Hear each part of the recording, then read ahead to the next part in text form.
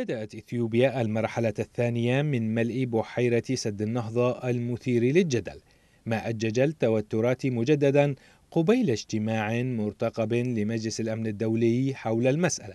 مصادر مصرية كشفت أن أثيوبيا تخطت الاثنين مستوى الملء الأول لسد النهضة إذ أضيفت إلى بحيرة السد كمية تفوق 500 مليون متر مكعب من المياه في أربعة أيام فقط. ما يعني ارتفاع منسوب البحيرة إلى نحو خمسة مليارات متر مكعب وهو ما يعادل منسوبها في آب الماضي في نهاية فترة الملء الأول.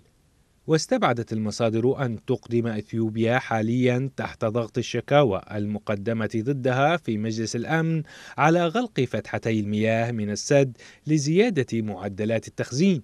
مع زيادة معدلات سقوط الأمطار لتعويض ما فات من موسم الفيضان والتباطؤ الذي كان يسود الأعمال في نيسان وأيار الماضيين. ويأتي هذا التطور الذي اعتبرته مصر تصعيدا خطيرا يكشف نية أثيوبيا ورغبتها في فرض الأمر الواقع على دولتي المصب.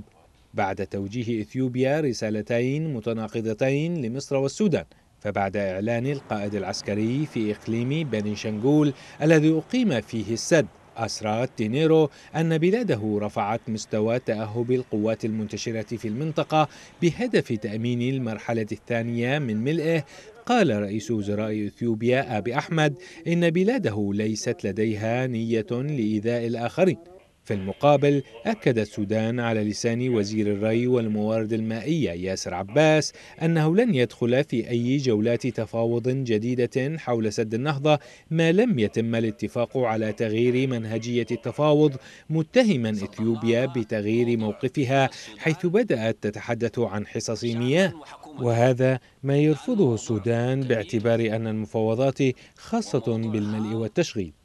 وعلى الجانب التفاوضي كشفت مصادر دبلوماسية مصرية عن تطور في الاتصالات غير المباشرة بين القاهرة والخرطوم من جهة وأديس أبابا من جهة أخرى عبر وسطاء دوليين وعرب تطرقت إلى مسألة الجدول الزمني للمفاوضات في حال استئنافها مباشرة بعد جلسة مجلس الأمن الدولي الخميس المقبل.